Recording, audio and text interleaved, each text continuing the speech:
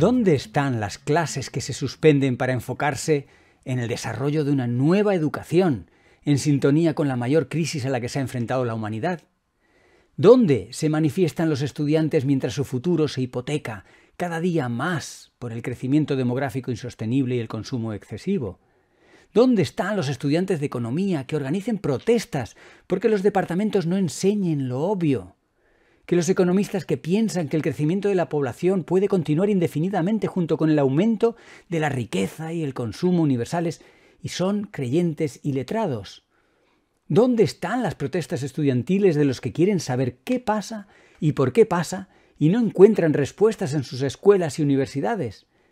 ¿Dónde está? ¿Dónde se fragua el pensamiento crítico, la cultura, la educación, la academia, ahora que tanto las necesitamos?